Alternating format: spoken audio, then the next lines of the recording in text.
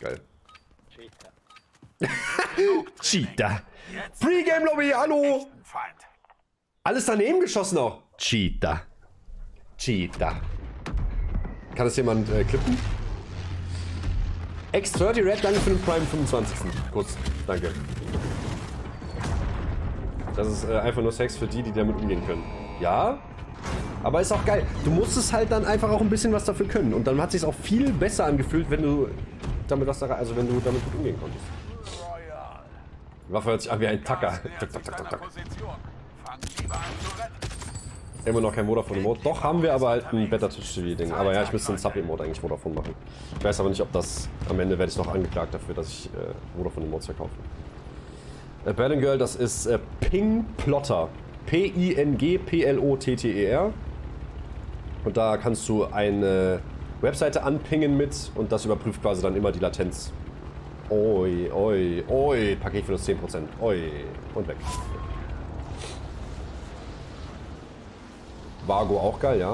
Habe ich aber auch letztens schon viel gespielt.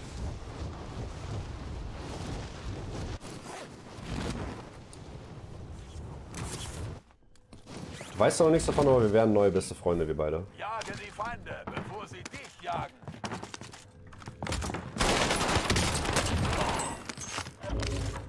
Ich habe meinen Freund über den Haufen geschossen. Feindlicher Soldat in der Nähe.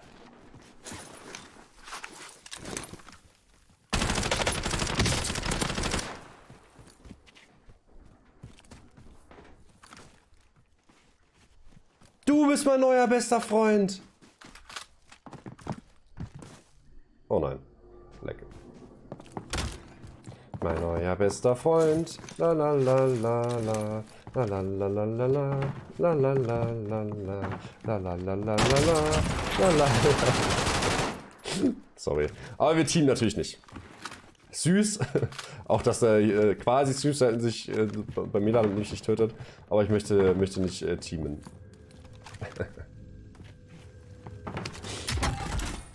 Das wäre ja natürlich quatschig. Das machen wir natürlich nicht. Ne? Ach, der Buddy steht einfach hinterher. Danke King, bester Mann, danke für den Clip.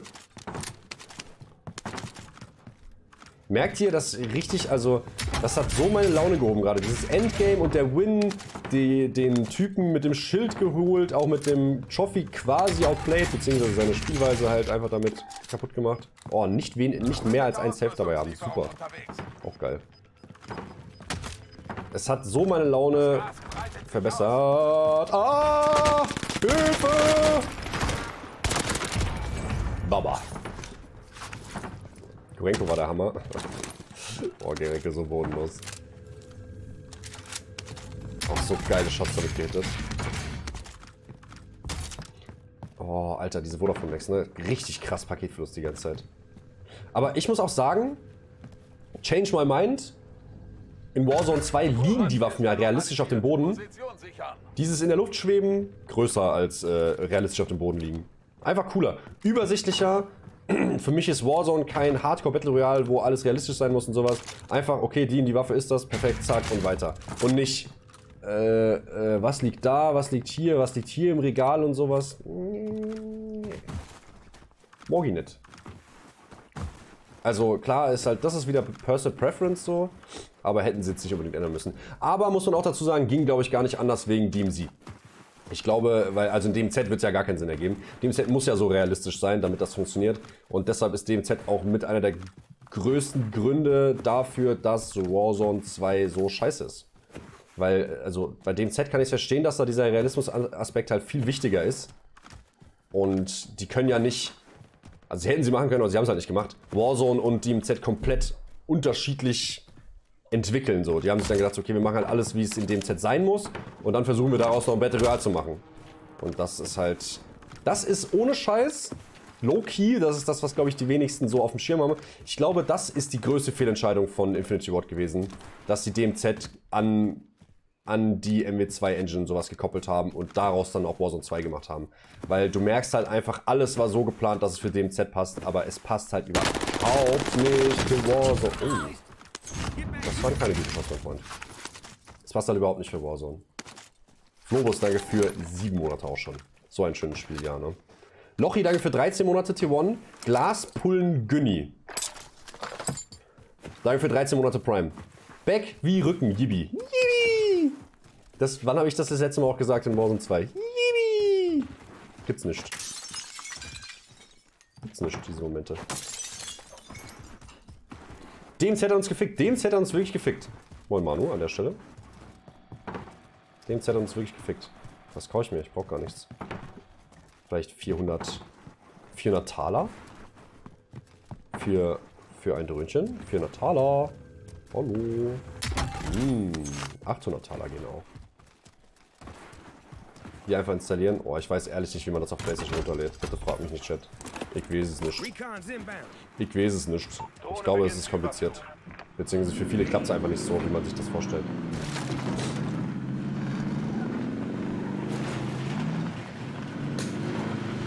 Auch Minimap gucken, mein Freund. Ey!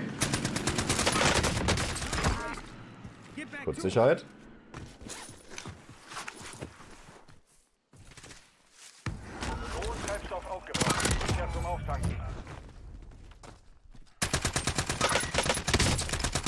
Habe ich einen Scheiß mit der EM2.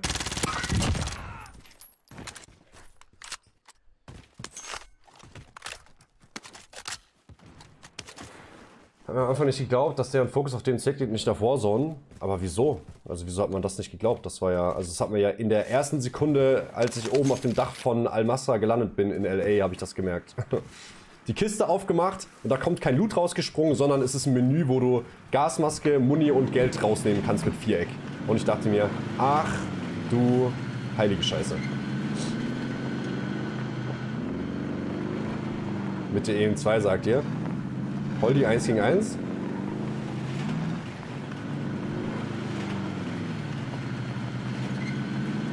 Leider ist das halt, wie gesagt, ne, also es ist Caldera Solos, 52 Spieler, erste Zone, ne, weißt du halt auch direkt wieder Bescheid. Aber es ist trotzdem eine schöne Abwechslung.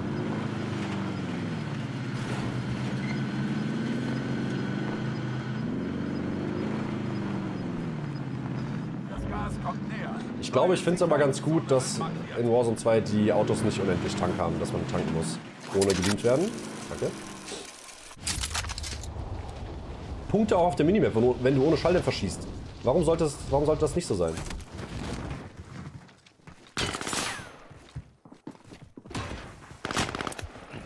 Oh, ich wollte seinen Enkel brechen. Oh, ist gut. Richtiger TikTok Danny Ushia. Mm, er ist außen gelaufen. Ja, gemacht. Hat er gut gemacht. Wäre er nach innen gelaufen, wäre ich an ihm vorbeigekommen. Schade. Wenn du überlebst, erhältst du die Freiheit.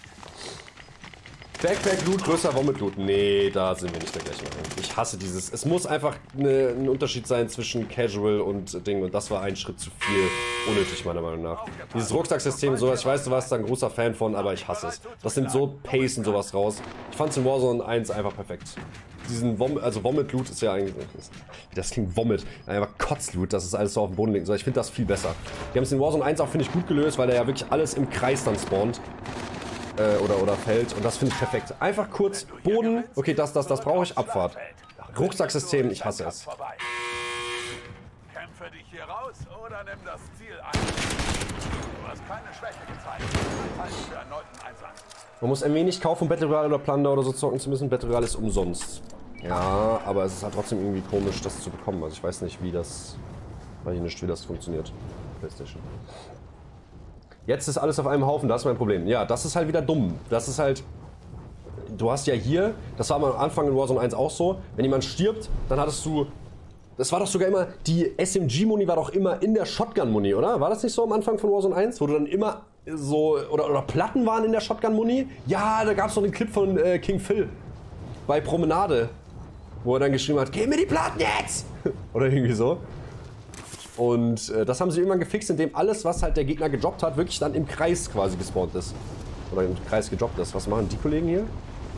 Darf man sich hier einmischen? Darf man hier mitmachen? Kann ich auf dem Dach landen?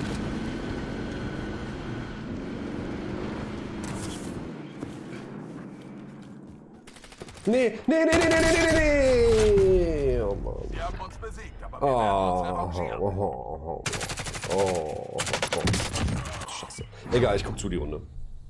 Ich guck zu die Runde. War geil mit drei Waffen mitnehmen, ansonsten war es Müll mit dem Rucksack. Ich fand auch. Es hat einfach so unnötig Pace rausgenommen, finde ich. Unnötig Pace rausgenommen. So, was passiert hier jetzt? Herzschlag-Sensor. Muss ich sagen, bin ich froh, dass der in Warzone 2 äh, kacke ist. Grau und MP5 äh, MW. Ich habe Grau schon erste Runde gespielt und sowas. Grau MP5 habe ich jetzt schon echt äh, als, also immer wieder, wenn ich zu Caldera zurückgekommen bin, schon oft gespielt. Das werde ich jetzt nicht direkt wieder spielen. Die PPSA-Variante, ja, die war cool, stimmt ja. Die war ganz cool. Vor allem mit dem Lauf, der so, so nice aussah. So, ich glaube, er sollte wissen, dass er oben ist, ne? Ja, ja, okay. I see den Move, aber das bringt jetzt halt gar nichts. Du brauchst gar nicht hochzugehen. Ne, du bist nicht tot. M4 Uzi. Freiwillig kein Damage machen und gegen jeden äh, Gunfight verlieren. M4 Uzi. Was warte da? Ich weiß nicht genau, was sein Plan ist. Oh, als würde die EMP den jetzt irgendwie beim Fliegen stören. Oh mein Gott. Bro, bitte, bitte, bitte. Geh weg! Geh weg! Bitte geh weg! Alter. Oh mein Gott. Ich habe Blackout ganz wenig gespielt, weil das war so meine Multiplayer-Sniping-Zeit. Und das habe ich Blackout nicht viel gespielt. Ich glaube, wenn ich das viel gespielt hätte, hätte ich auch Spaß dran gehabt. Aber auch da hat mich sowas wie das Rucksacksystem gestört, dass du jeden Gegner looten musst, dich auf den Boden legen musst und ja, seinen Rucksack quasi aufmachen musst und da dann alles rausholen musst. Auch das mit dem Aufsätze zusammenbauen fand ich alles nicht, nicht geil. Ich muss sagen, ich bin wirklich ein riesengroßer Fan davon, von Skill Gap, natürlich, absolut. Aber nicht von alles muss irgendwie kompliziert sein oder lange dauern und so. Und auch wenn Rucksacksystem, wenn du krass wurdest, dann hast du einen Rucksack richtig schnell gelootet, aber ich fand es trotzdem nicht geil. Ich finde, das ist ja auch einfach aus der Content-Sicht so ein bisschen so, ich finde es immer geiler, wenn es einfach eine Skill gibt.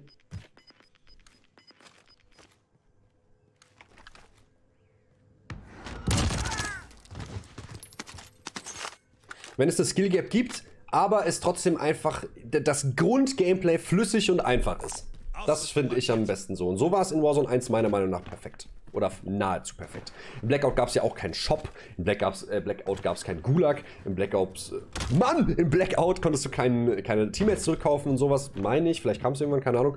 Also es war schon overall nicht so gut wie Warzone. Einfach. Also es ist mein, meine persönliche Meinung. Viele, ich weiß, Kaiser beispielsweise finde ich ja Blackout richtig geil, aber ich finde das, äh, wie sie es mit Warzone gemacht haben, war schon ein unfassbar geiles Battle Royale System. Sie haben es so gut hinbekommen, Call of Duty in ein Battle Royale zu bringen und nicht umgekehrt. Sie haben nicht auf Teufel komm raus, wir müssen Battle Royale machen und wir müssen Call of Duty daran anpassen, sondern sie haben Battle Royale genommen und haben Call of Duty draus gemacht. Und das, finde ich, hat sehr gut funktioniert in Warzone 1. Geh da bitte raus, der macht mich aggro. Nee, ich würde es gerne, gerne so hochladen. Also, ja, ist, denke ich mal, ein ganz cooler Ablauf, wenn wir hier noch ein bisschen, bisschen quatschen und so. Und ich glaube, der wird eh die Runde nicht gewinnen. Er hat drei Kills, ja. Einen hat er mich am Seilzug da abgeaimt. Seilzug Warzone 1 auch, also die Luftballon ist wichtig gewesen für Caldera, aber das sich einhaken und noch alles machen können, sich loslösen und sowas wieder oder auch mittig einhaken können in Warzone 2 System besser als Warzone 1. Safe. Wenn er noch 20 Mal auf den Herz schaut, ja. Warzone 1 Lieblingsspiel. Ja. Und du bist tot, mein Freund. Eines dann. Oder schieß mal, schieß mal durch die Wand. Hallo? Crasher?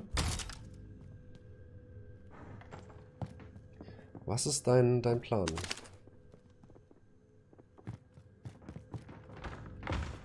Oh, du bist so tot. Oh mein Gott, bist du tot, Crasher. Du bist der Inbegriff von tot. Ja, du bist so tot. Du kannst wirklich Testament schreiben. Es ist over. Das, du kannst loslassen. Push doch hinterher, Gegner. Oh Mann. Warum pushst du denn nicht hinterher, Gegner? Du hast den Shield Break und du pushst nicht hinterher. Auch Missplay vom Gegner. Wäre interessant gewesen, wenn Warzone 2 während Corona ausgekommen wäre und Warzone 1 quasi der Nachfolger davon. Wie Leute dann reagiert hätten ja, also es ist halt ein sehr unrealistisches Szenario, weil ja Warzone 1 ja auch sehr unfertig rauskam. Also das kannst du ja gar nicht vergleichen. Wenn Warzone 1 in dem, in dem unfertigen Zustand, wie es damals rauskam, nach Warzone 2 rausgekommen wäre, wäre am Anfang auch erstmal so, boah, mh, ja, da funktioniert auch vieles nicht. Wenn du knockst äh, und, und findest, bekommst du den Kill und sowas. Loslassen, by the way, Crasher, endlich, endlich loslassen. Ey, der lebt immer noch, das ist so geisteskrank.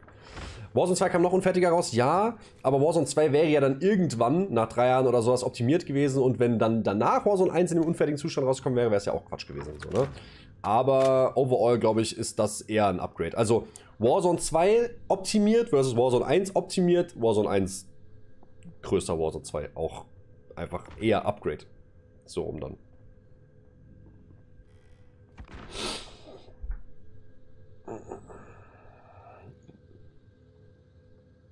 Oh ja.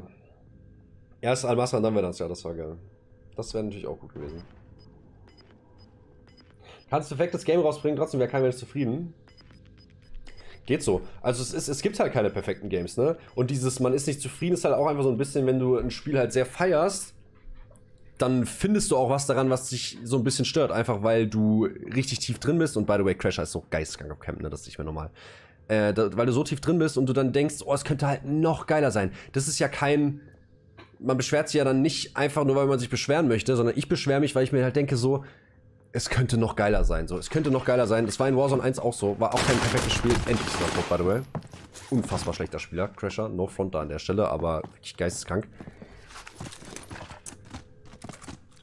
Es ist ja dann, also, wenn ich mich über Warzone 2 beschwere, klar, weil ich einfach sauer bin, was ich verkackt habe, auch einfach, weil ich mir wünsche, dass es halt einfach besser wäre, so, ne?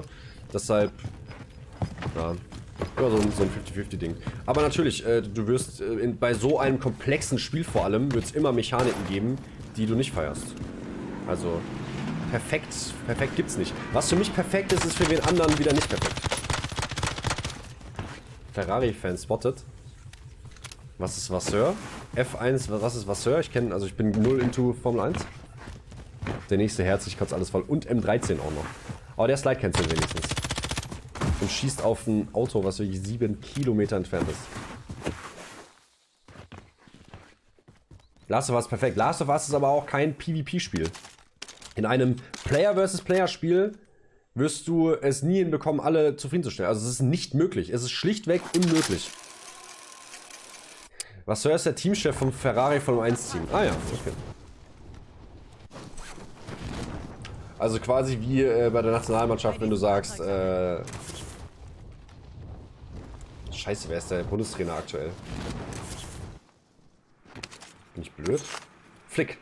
Wenn du äh, sagst Flick out, dann ähm, ist das gleiche wie hier äh, Wasser out, ne? Principal, okay. Principle. Flick. Ja. Drick. Drick auch gut. Drick auch gut, ja. Der Bundesjogi von Ferrari, ja. So, was macht der Mann hier eigentlich gerade? Ah, okay. Er guckt doch einfach in die falsche Richtung. Wenn da jemand im Raum drin gewesen wäre, wäre er sofort tot gewesen. Aber er kann zumindest, hat er die Spots so ein bisschen mit Fenster draußen rein. Last of Us finde ich mega langweilig. Ich habe es tatsächlich das wird jetzt wieder sehr viele Leute sauer machen. Ich habe es auch nie gespielt.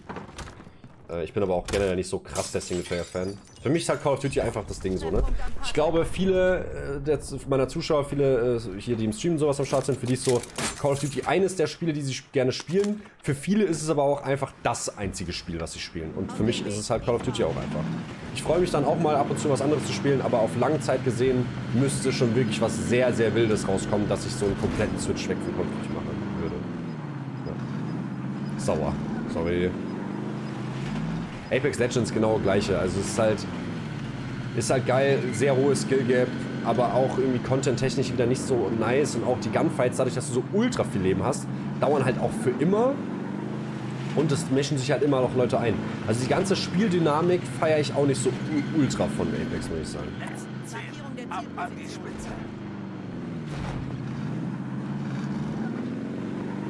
Hätte mal eine bescheidene Frage. Ist Dias Biffel für dich der beste äh, Warzone-Spieler? ich würde so overall wahrscheinlich sagen, ja, aber ich habe auch jetzt echt nicht mehr so viele Leute verfolgt. Also, da ich das Warzone 2 mir selbst beim Spiel nicht so viel Spaß macht, habe ich jetzt auch nicht so viel Spaß dran, mir irgendwie Gameplays oder sowas von anderen anzuschauen. Also, ich sag's euch, wie es ist. Wenn ich in der Woche 5 Minuten Warzone 2 Gameplay sehe, was nicht von mir ist, ist es viel. Ich spiele unheimlich gerne Rollenspiele, aber COD ist auch mein Hauptgame eigentlich, ja. ja. Was dann auch wieder feier, so, wenn, wenn ein Star Wars Game rauskam, äh, rauskommt oder so, ne? So ein Singleplayer-Game wie hier Jedi Fallen Order und sowas. Das ist wieder geil. Meine Lieblingsmeta war M16 und FFR. Die Kombi. Ich habe Hunger, by the way. Im Wohnzimmer steht eine Schnitzelbox, die nur darauf wartet, dass ich meine, dass ich meine Zunge Nee, ich weiß nicht, wieso ich jetzt auf Zunge komme. Dass ich alles in mein, in mein Gesicht schaufle. Da habe ich Lust drauf. Nach der Runde hole ich. LC10. Okay, auch gut. Read Dead Redemption 2. Auch nie gespielt. Ich bin wirklich, äh, was, das, was die Sachen angeht, ich bin wirklich ein, äh, ich bin ein schlechter Mensch, was Gaming angeht. Real Talk. Ich bin ein schlechter Game, was, äh, ja. Schlechter Mensch, was Gaming angeht. Ich habe so viele Titel, die man gespielt haben muss, nicht gespielt ins Fickmaul reinschaufeln, genau, ja. Die Schnitzelbox im Wohnzimmer wartet nur darauf, dass ich sie in mein Fickmaul hineinstopfe. So. Früher habe ich gerne auch mal Battlefield gespielt. Same. Same. Battlefield 3, unfassbar geil gewesen. Battlefield 4 war auch noch sehr nice. Danach ging es für mich ein bisschen bergab und ich bin halt nicht mehr so Fan von Erster, Zweiter Weltkrieg, auch wenn Battlefield 5 und Battlefield 1 echt gute Spiele waren, aber die haben mich einfach nicht so krass abgeholt aufgrund des Settings. Das hat man einfach, finde ich, zu oft gesehen. Es bietet zu wenig Abwechslung. Ja. Read Dead Redemption. Bald kommt GTA 6, ja. Hat so Spaß gemacht, ja. Obwohl es Caldera ist, ne? das andere muss man ja auch dazu sagen. Auch einfach nicht, nicht eine geile Map. Was passiert hier eigentlich? Warum, also, ja gut, ja, ja, ist halt das letzte Haus in der Zone, oder? Das vorletzte, das hier auch noch. Gibt jetzt nicht so einen Grund, unbedingt da rauszugehen, aber wie geil sind diese fünf äh, Helis, die jetzt hier im Endgame kommen? Die jetzt hier einfach nur, wie so Mücken die du so nachts am Ohr, hör, äh, nachts am Ohr hörst, wenn du gerade schlafen möchtest. Eins für eins schlafen wir mal. Sind diese, genau das Äquivalent dazu, sind diese fünf Helis im Endgame von Warzone 1. keiner braucht sie. Keiner hat gefragt, keiner will sie. Niemand würde es auch, also niemand würde es vermissen, wenn sie weg wären. Würdest du GTA 6 zocken, wenn es irgendwann 2035 oder so kommt? Ja, safe. Apex anzocken. Ich habe Apex eine lange Zeit sogar äh, gespielt damals. Vor, es kam ja vor Warzone raus, oder Apex? Kam Apex vor Warzone raus? Ja, ja, safe. Ich habe es eine Zeit lang gespielt, aber es hat mich nicht so lange Zeit gecatcht. Heute reden bei Stylers 4 minus, ja, ja, das stimmt. Das stimmt. Wie geil ist es, dass ich hier nicht immer Dreieck drücken muss, um von der Helmkamera auf die Ego-Perspektive zu switchen, wie in Warzone 2, wenn jemand aus dem Auto steigt, dann zugucken. Ich müsste die ganze Zeit hier Dreieck drücken, um diesen komischen Helmkamera-Bug da immer zu umgehen. Was ist das für ein scheiß Endgame eigentlich? Cold War zocken. Ich habe letztens erst ein Video hochgeladen zu Cold War. Geiles Game. Jetzt noch mit Heli-Cheats, ja, das habe ich. Ja, stimmt, das hast du mir geschickt. Apex ist länger als Warzone 2019, ja. Wann kam Warzone nochmal raus, Samantha? Frag von Freund. Kannst du eine Frau kennenlernen, ohne Angst zu haben, dass sie nur dein Geld will? Nee. Nein, das geht nicht. Das wäre natürlich. Das ist eine Frage. Ich bin hier auch kein Drake, äh, dass wenn du, die, dass, wenn du mit mir in einer Beziehung bist, dass du auf einmal deine Millis hast. Das ist ein Unfall. Ja, schrecklich, schrecklich. Ekelhafter Spieler, ekelhafter Spieler. Der andere, ekelhaft bist du, eklig. Schäm dich, schäm dich, schäm dich. Was ist, was passiert hier? Ausbruch! Ausbruch! Was? Was? Was? Was?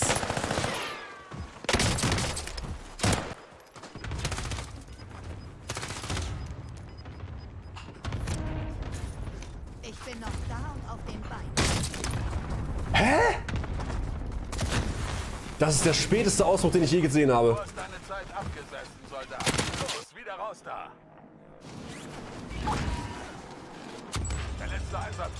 Das ist ja-. Zehn Leute. Die Zone closed aber schon. Ich habe hier keinen Spot, wo ich irgendwo Waffen bekommen kann. Das, ich sage loslassen, aber... Oh ne. Maybe. Maybe, baby. Maybe, baby. Maybe, baby, maybe, baby.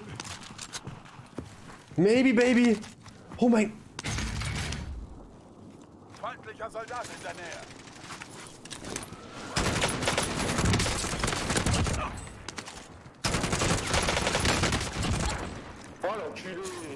Hat er auch wieder Cheater gesagt?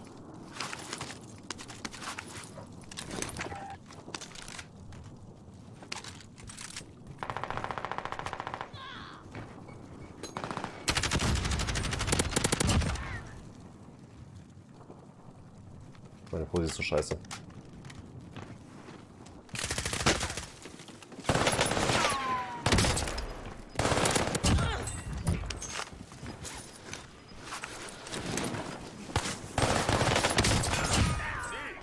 Dafür habt ihr trainiert. Ah!